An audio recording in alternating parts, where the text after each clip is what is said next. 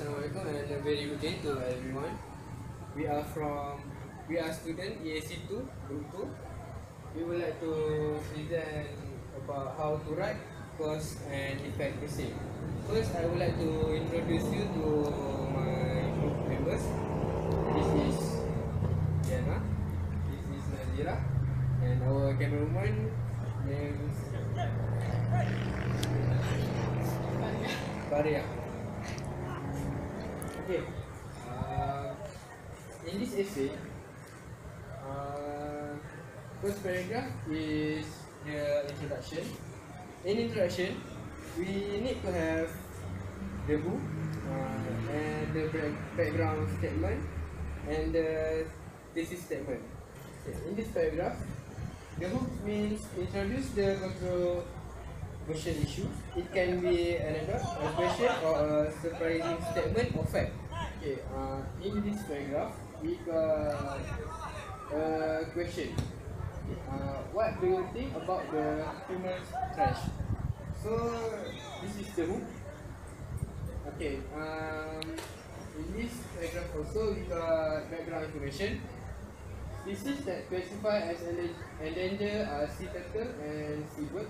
Example of human trash are plastic, rubber, glasses, metal, chemical and others. This is thesis statement. Uh, in my opinion, causes of human trash which are by human behavior and sewage runoff. Okay, this is the introduction. Go to the next paragraph, body paragraph. Okay, uh, in example for body paragraph, uh, in body paragraph we should have topic sentence and the supporting sentence and concluding sentence. Uh, in the topic sentence in this body paragraph, the other the other causes is sewage runoff. Uh, the supporting sentence for topic sentence, sewage flow directly into the ocean. Okay, supporting sentence it will uh, it will support the topic sentence with reason, facts, and an explanation to help the reader understand the writer's point of view. Okay. Uh, we go to concluding sentence. As a result, all levels of oceanic, oceanic life plants and animals are highly affected. That is the concluding sentence in body paragraph. So in body, body paragraph, we have we need to have topic sentence, um, the supporting sentence and the concluding sentence. Okay, we go to last paragraph. It's the conclusion. Okay, uh, uh, in conclusion, we have rephrasing thesis statement.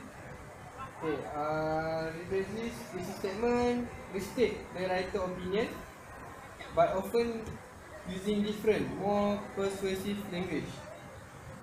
In the introduction, we also got the thesis statement, but we rephrase it uh, in the conclusion paragraph. Okay, the thesis statement here, the cause of humans trash to the endangered species by human behavior and sewage runoff. Then we have uh, recommendation and suggestion. The government should this case in serious manner by tighten the law and increase awareness to the community towards the effect of trash to the endangered species. Uh, it include closing statement that reinforce the writer's viewpoint. So that's how we that's how to write cause and effect essay. That's all from us. Thank you.